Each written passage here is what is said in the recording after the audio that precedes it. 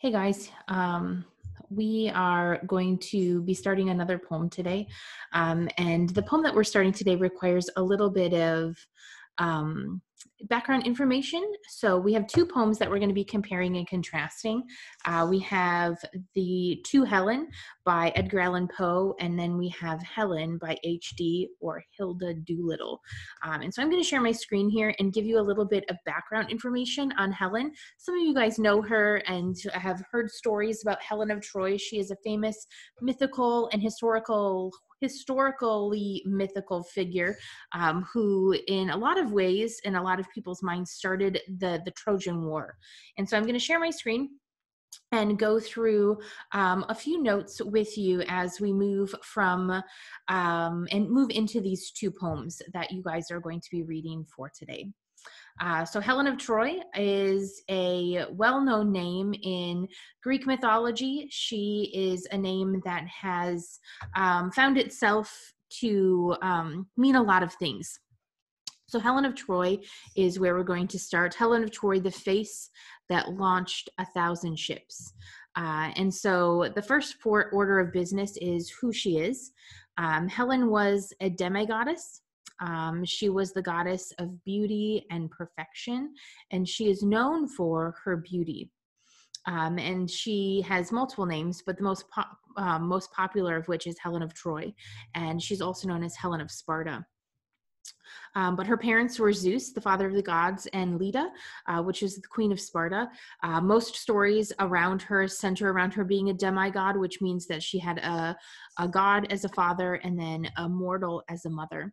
Uh, but these stories we're going to skip over. The story claims that Zeus uh, tricked her mom into um, sleeping with him, and then she was created out of that. This is another option um, that Nemesis gave the egg that contained uh, Helen to her brother, to Leda, to raise, um, but that she wasn't actually born by Leda. But we're not going to get into that. You just need to know that many people believe her to be a demigod. Um, some b- believe that she's more than that, and that she was actually hatched from an egg, which weird. I don't even know.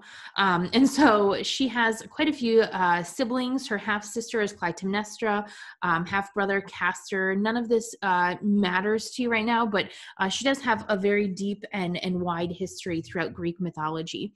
Um, one of her most special powers um, as a demigoddess was that she was beautiful. She was uh, considered to be the most beautiful woman in the world. Um, and in being the most woman in the uh, beautiful woman in the world, excuse me, I, I did that wrong. Um, she was kidnapped. Um, she was kidnapped by Theseus, which was the king uh, at the time. Uh, they uh, chose her because they wanted her beauty and they wanted to be one with Zeus, um, and they thought that she was the answer. So Hel- Helen was later rescued by her brothers um, in this specific story. Uh, but after Helen was kidnapped, uh, she returned to Sparta. Uh, many people wanted to marry her. She was a hot, uh, the the bachelorette. Um, her earthly father, chose Menelaus, um, who was in a lot of ways a pretty popular human at the time, um, and they had four kids together. Her first husband, uh, Menelaus, is the one that um, started this war, the Trojan War. Um, it was after she was married to Mess that she, the prince Paris, the Prince of Troy, um, was a judge for a beauty contest. Um, there was a beauty contest between uh, where Aphrodite bribed Paris to name her the winner, Aphrodite the winner, by offering Helen to him as a prize. Um, and so he said, she said, if you pick me, I will give you Helen of Troy.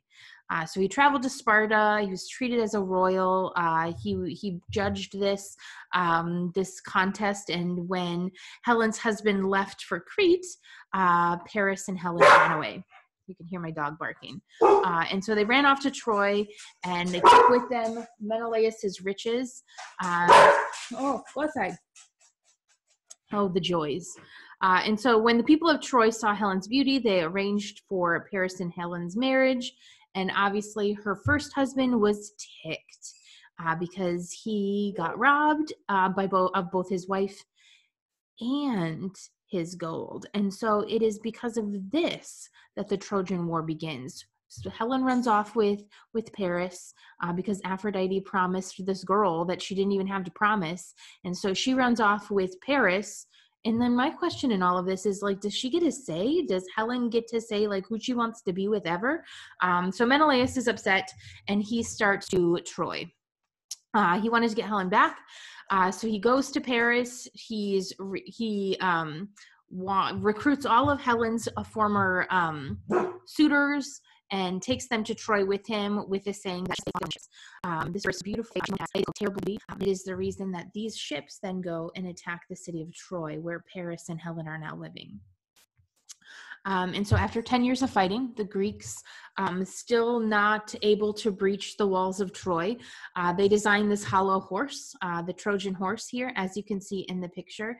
And the Trojans thought that they were going to they designed this hollow horse to carry the Greek troops into the city. Um, the Trojans thought that they had won the war, and they take the horse like a war, it was like a, a peace offering, if you will. And so they, they're like, oh gosh, the Greeks are hiding in the horse. And so into um, the heads like a horse into the city, and the horse them all. And that is how the Trojan War ends. Um, and so then the moral of this is after the Greeks won, Menelaus decides to kill Helen for her lies. He's taken with her beauty instead after he saw her for the first time again. He left um, and then the person beautiful on the outside and not on the inside, and that was like terrible beauty. It's beautiful, but also beautiful.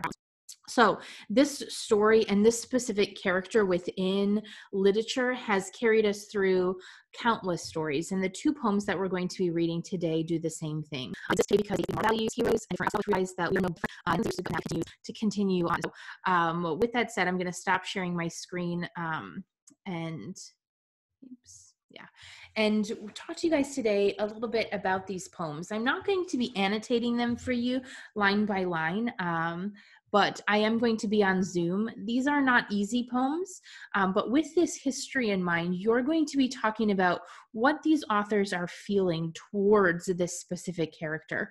Um, the tone of these poems is what I'm looking for you to be thinking about as you read them tone as you may remember is the the feeling that we as readers are supposed to have as we read it. Tone is the the emotion words that these char- these authors use to instill an emotion within us. And so as you're reading it i want you guys to be thinking of those things. Um, i encourage you guys to annotate it. There's one sheet of paper um, and you can it print it off again or you can um, put it on Google Docs and annotate it with comments. A lot of you guys have been doing so beautifully with this. I am looking for you to engage with meaning. I am looking for you to engage with literary devices and so on and so forth. Um, the questions, there's 10 of them, um, and they are asking you to do the same. So I'm going to be ending this video uh, to say that if in fact you want help annotating, that is what I'm going to be doing on Zoom today. Um, so you can go ahead and log on to Zoom at your time and I will be helping you and using my document camera to annotate with you and read through these poems together. Uh, so that is my plug for the Zoom meetings. If you don't need that, go on your own. Otherwise, we'll see you guys at your Zoom meetings today. Have a good day. We'll talk to you later.